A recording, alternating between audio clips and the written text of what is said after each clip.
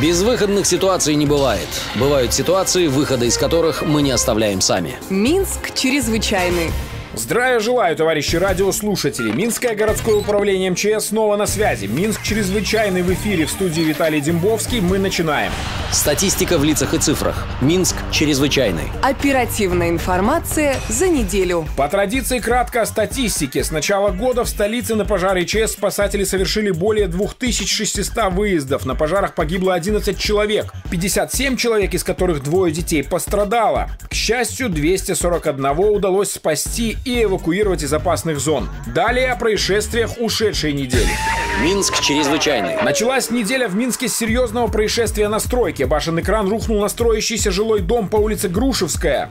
ЧП случилось около 8 утра. Падая, стрела задела и жилой частный дом. К счастью, в тот момент в нем никого не было. Если бы кран наклонило в другую сторону, могли бы быть жертвы. Совсем рядом многоэтажные жилые дома и детский сад кабине в момент падения находился 25-летний машинист. У парня тяжелые травмы, но его жизнь вне опасности. Также во время ЧП в частном доме осталась женщина и ее полуторагодовалая дочка. Стрела крана проломила соседнюю комнату. В ней жил брат хозяйки. Мужчина ушел на работу за час до того, как на его кровать упала многотонная конструкция. Спасатели помогли хозяевам достать только самое необходимое имущество и теплые вещи для малыша. Что же стало причиной аварии, выясняет специальная комиссия. Утро вторника пополнило печальную статистику погибших на пожарах в столице. Трагедия, унесшая жизнь пенсионера, произошла утром в одной из многоэтажек по Логойскому тракту. Когда спасатели приехали, 72-летний хозяин горящей трехкомнатной квартиры уже был мертв, скорее всего из-за едкого дыма, который шел от пылающей прихожей мебели. Причина пожара пока неизвестна, однако есть не самое хорошее предположение. После того, как потушили пламя, к медикам за помощью с признаками алкогольного опьянения обратился 36 26-летний неработающий сын погибшего. С отравлением продуктами горения его госпитализировали в медучреждение. Минск чрезвычайный. В ночь со вторника на среду на улице Дунина Мартинкевича около мусороприемной камеры многоэтажного дома в результате неосторожного обращения с огнем неустановленным лицом загорелся бесхозный диван, а впоследствии две оконные рамы имущества в подсобном помещении. К счастью, прибывшие спасатели ликвидировали загорание в несколько минут и никто не пострадал полдень среды на улице Заславской в центральном районе столицы на территории, где ведется реконструкция тепломагистрали, сгорела строительная бытовка. Внутри металлического передвижного вагончика загорелись мебель, имущество и деревянная обшивка на площади 5 квадратных метров. Случившийся виновен 50-летний рабочий, который хотел погреться, но нарушил правила эксплуатации электрообогревателя. К счастью, никто не пострадал. Похожий случай произошел и в пятницу днем. Обогреватель стал причиной пожара в столичной квартире на улице Макаренко. Хозяин, по-видимому, хотел согреться и едва не сжег квартиру. Он включил радиатор на полную мощность и попросту забыл про него. Не выдержав нагрузки, устройство вспыхнуло, за ним обои и мебель. Спасатели застали стихию, поедающую шкаф и одну из стен.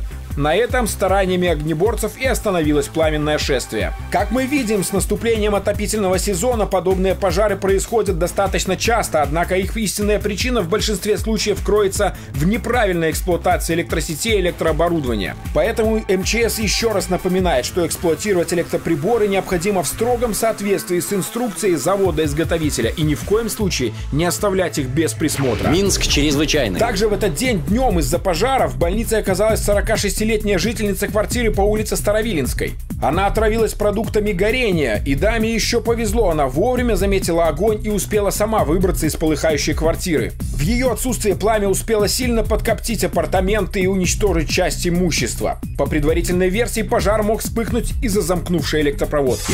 В субботу утром с двухлетним жителем Ленинского района произошла неприятность. Его голова застряла в конструкции детской прогулочной коляски. Инцидент случился дома. Службу 101 обратилась мама малыша. Спасатели помогли застрявшему малышу и с помощью подручных средств освободили голову мальчика. В результате ЧП ребенок не пострадал. Вечером на улице Брилевской неизвестный поджег Chrysler Pacific 2005 года выпуска. Непонятно, чем ему не уходила машина. Не исключено, что таким коварным способом он решил отыграться на хозяине. Авто достаточно серьезно повреждено. Личность поджигателя пока не установлена. Минск чрезвычайный. В воскресенье вечером поступило сообщение о дорожно-транспортном происшествии. Столкнулись Seat и Volkswagen. Три человека пострадали. Авария произошла на перекрестке Сурганова и Якуба Колоса. В минивэне оказался заблокирован пассажир. Его извлекли спасатели и передали медикам. Всех троих участников ДТП после аварии отвезли в больницу. Ну что ж, вот такой была ушедшая неделя в Минске. Берегите себя. До встречи в следующий вторник. С вами был Виталий Дембовский. Пока. Безвыходных ситуаций не бывает. Бывают ситуации, выхода из которых мы не оставляем сами. Минск чрезвычайный.